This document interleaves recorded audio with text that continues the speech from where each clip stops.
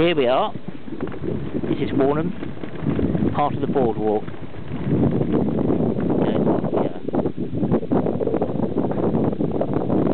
Bit bumpy.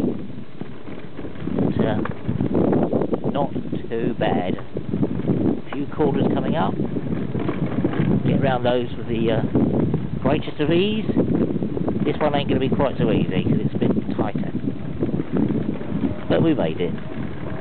Just like that. Boss is up the front. Oop, oop.